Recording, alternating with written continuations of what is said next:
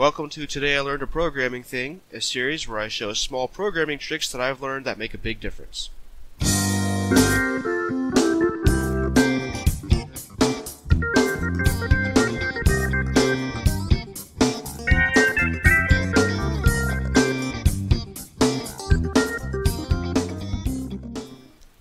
Today I learned MySQL has a database that maps its own databases. There is a database in MySQL called Information Schema.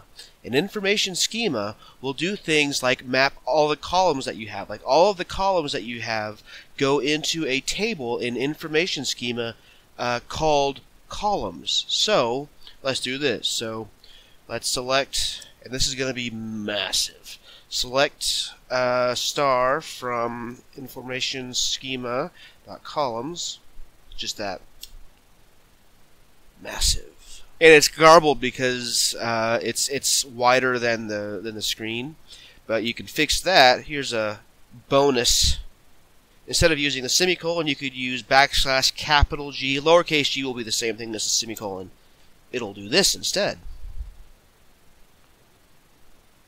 So it'll organize it differently. That's also pretty useful because there are sometimes whenever you have a lot of information and you have too many columns, it's wider than the screen, it don't work so well. So, what you can do with things like information schema is you can use something like this. Let's say I want to find all of the tables that have user ID. So, I mean, I could do show tables. Oh, I need to actually select a database.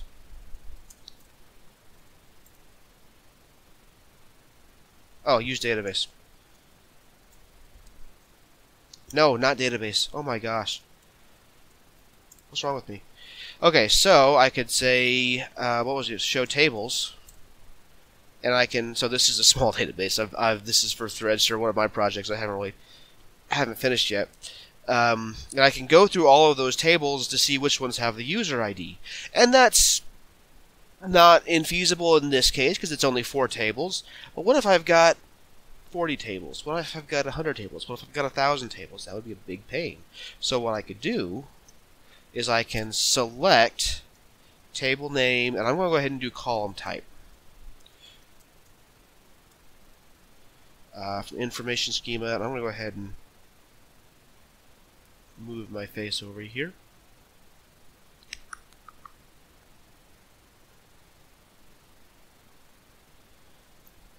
So select table name and column type from information schema columns where column name equals uh, user ID. So now I've got all the tables where I have the user ID, where I have uh, some kind of a user ID column. And you could also show columns from information schema uh, dot columns and you have all the information on there. And also another thing that's really convenient, I think. So let's go back to this. In addition to showing column type, I should have done this the first time.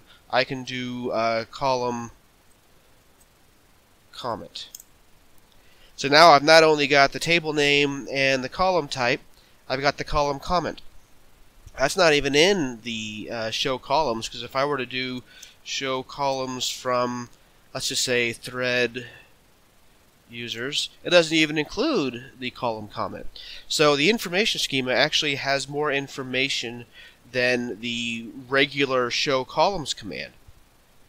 So one thing you might think is why bother with this? Because you could just go ahead and use something like Toad for MySQL. Well, I'm not going to say Toad for MySQL is bad, it's perfectly fine.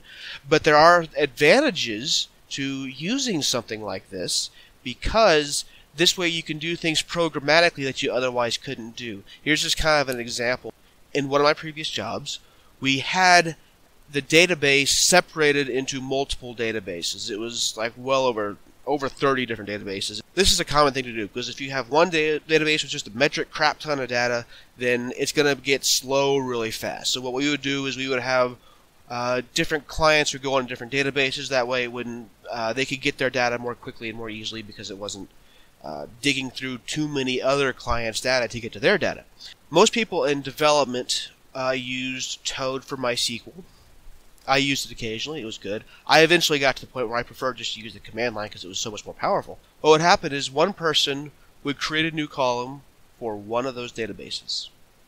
And then they'd commit code to go to the repo that goes to everybody. So if anybody's in a different database, then the code just freaks out and says, I can't find this column. Shut everything down.